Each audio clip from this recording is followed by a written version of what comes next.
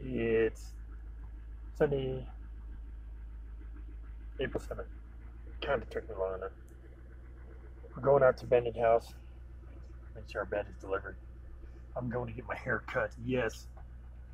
I've sent out the flyers. I've sent out the invites. We're, we're expecting a pretty good crowd. Last time turned out there was too many people. There were uh, what's a good word? Throngs. There are throngs of people.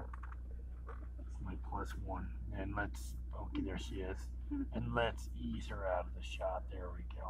And I'm okay, and I'm back. so this time I expect an even greater turnout. It was on the news last night. It was on both the what six o'clock and that nine o'clock or seven o'clock. Denver's trippy that way. I mean, everybody got the word. So we'll see what happens. Probably gonna give my uh, short pieces of hair to the less fortunate. What the hell are you looking at? Is that where it hit? No, that's good. I figured about half out. Then I tried fixing this. that- no go. It, it took some of it. Yeah. Some of it, not all of it. Women prayers. Anyway, every day's a good day to be here.